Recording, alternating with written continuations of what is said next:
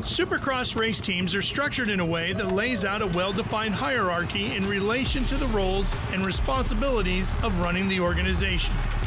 Team owners work across the entirety of the team, from rider appointment, sponsorship arrangements, research and development, and the hiring of appropriate staff, to name a few tasks. The team owner serves as the backbone, steering the team in the general direction of success.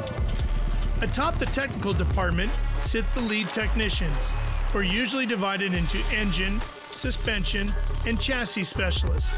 It's important that this group work cohesively, understanding the overall complexity of the motorcycle, to allow each respective component to work in unison with the other. Horsepower is great, although not so much when the wheels aren't on the ground due to suspension difficulties.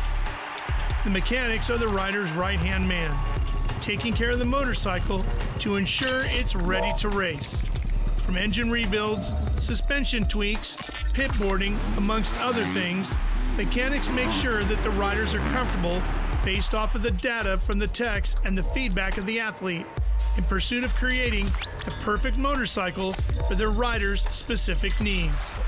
It's important for a supercross race team to work together in unison for the desired result, as success is dependent on the culmination of each member's role and responsibility.